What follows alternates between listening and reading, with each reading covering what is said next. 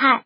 七点出发，二零幺九零幺二七点 MP 三零八二十三点九七六一。习近平二十六日就巴西跨大决堤造成严重人员伤亡，向巴西总统博索纳罗致慰问电。二日前，中共中央决定任命叶惠马同志为中国证监会党委书记，免去刘士余同志的中国证监会党委书记职务。国务院决定任命叶惠马同志为中国证监会主席，免去刘士余同志的中国证监会主席职务。三日前。中共中央决定任命刘士余同志为中华全国供销合作总社党组副书记。四、为了保障儿童的权益，民政部在近日公布的机构改革方案中，特别增设了儿童福利司。维护儿童权益是全社会的共同责任。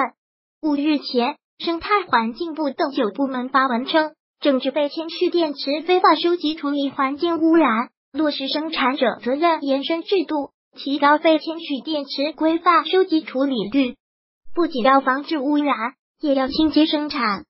六海关总署二十六日公布，二零一八年累计检出各类传染病二点七万多例，全年未发生重大口岸公共卫生安全事件，严把公共卫生安全关口，给中国海关点赞。来源：央视新闻频道。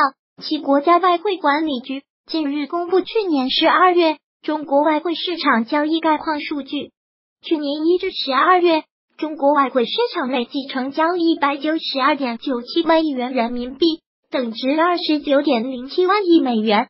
八国家医保局于二十六日通报八起典型骗保案例，此次公布的骗保案件全部为医疗机构内部人员以虚假住院或串换药品来骗取医保基金。骗保也是一种病，得治。总台独家，随着春节脚步的临近，全球华人共同期盼的中央电视台二零一九年春节联欢晚会将掀开面纱。作为中央广播电视总台成立后的首个春晚，今年春晚将以“奋进新时代，欢度幸福年”为主题，坚持守正创新，弘扬主旋律，传递正能量，努力营造出欢乐祥和、喜气洋洋的新春氛围。为全球华人献上一道丰盛的年夜大餐。来源：央视网一。春节临近，国内油价将迎来节前的最后一次扫整。二零一九年第二次成品油调价窗口将于二十八日二十四日开启。多家机构预测，成品油价格再次迎来上涨。春节用车的车主们可以赶在调价前加满油。二十六日，齐齐哈尔一家油站。来源。东方 IC 二春节即将来临，出境游市场持续升温，多家旅游平台公布出境游趋势显示，出行订单量和产品价格同比均有上升。世界那么大，谁都想去看看。三 G 京沪高铁复兴号实现 WiFi 信号全覆盖后，其他高铁上也有 WiFi 了。记者日前获悉，中国铁路官方 WiFi 入口掌上高铁 APP。已经可以下载使用，免费 WiFi 已覆盖二百七十四列复兴号列车。听说不仅免费，还有一千多部影视剧。先行时速一百六十公里，动力集中动车组 C 二二零零 J 型复兴号列车 WiFi 网络覆盖标识。来源：东方 IC。四点二五日下午，吉林长春市红旗街万代购物广场发生爆炸，导致一死一伤。二十六日。警方最终确定现场死亡男子郭某涛系本案捉罪嫌疑人。经查，犯罪嫌疑人郭某涛身患癌症，在松原市杀死一人后，来到长春市炸毁了自己的轿车，并在出租房内引爆自制爆炸物身亡。五近日，检察机关对两起大找退役军人七号实施暴力犯罪的十九名犯罪嫌疑人依法批捕。经查，这十九名犯罪嫌疑人成分多样。背景复杂，其中多名人员有违法犯罪前科。六点，二零一九年九月三十日前，北京大兴国际机场将正式通航，同时北京南苑机场将关闭。二零一九年的春节将是南苑机场经历的最后一次春运。一百零九岁的南苑机场辛苦了。七点，一月二十日，中国人民志愿军战歌词作者原第二炮兵部队某基地政治部主任马福尧在北京去世，享年九十二岁。资料图：马福尧。来源：人民日报微博视频截图。八近日，贵州地铁一高速女收费员帮忙推走故障车辆，以便清理车道。排队的司机不知情，大骂其动作缓慢。刚工作不久的他被骂哭，但下一秒面对顾客时，他抹掉眼泪，仍坚持微笑服务。这样的变脸值得尊敬。一联合国安理会二十五日举行气候灾害对国际和平与安全影响公开辩论会，与会者呼吁积极采取行动，减缓气候变化速度，以有效应对气候变化造成的负面影响。应对气候变化需要全球协力。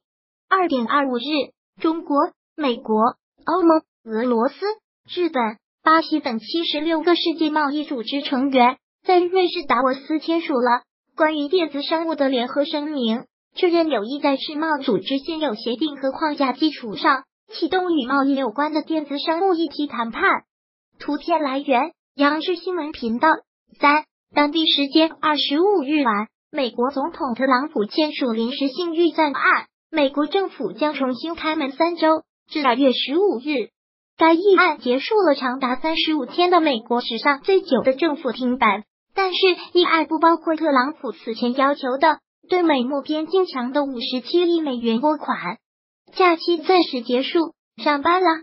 四近日，法国黄背心运动几名负责人宣布正式成立竞选队伍，参与即将到来的议会选举。目前，民调显示黄背心名单支持率较高。二十六日，江苏省连云港市海州湾街的党员志愿者和民间兼职艺人。来到连云港火车东站，把两千多张福字和生肖猪剪纸作品免费赠送给过往旅客，让旅客春运路上带福回家，为春运增添一份温暖与幸福。日日行，不怕千万里，常常做，不怕千万事。二零一六年四月十九日，习近平总书记在网络安全和信息化工作座谈会上发表讲话，研究鼓励日日行。不怕千万里，常常做；不怕千万事。强调我国网信领域广大企业家、专家学者、科技人员要树立这个雄心壮志，要争这口气，努力尽快在核心技术上取得新的重大突破。日日行，不怕千万里；常常做，不怕千万事。出自清代山一经先生的格言，连笔处事，大意是：天天行走，千里的路程终会走完。事情经常做，就算再多也能做完。只在勉励人们要把想法落实到行动上，一步一个脚印去实践。飞机餐不好吃，研究人员称难以避免。常有乘客抱怨飞机餐难吃，营养学研究人员认为这恐怕在所难免，因为受机舱内压力、湿度和噪音等环境因素影响，人的嗅觉和味觉等感官灵敏度减弱。不能充分体验食物带来的乐趣。机舱内加压环境会降低人体血氧水平，减弱体内嗅觉接收器的灵敏度。机舱内持续循环的干燥空气也会影响鼻子正常发挥功能。机舱内空气平均湿度为百分之十二，甚至低于撒哈拉沙漠的空气湿度。营养学专业人士赫伯特斯通。曾参与美国阿波罗登月计划食物准备工作。他说，湿度低和空气流动会令鼻腔干燥，这将降低闻气味和尝味道的能力。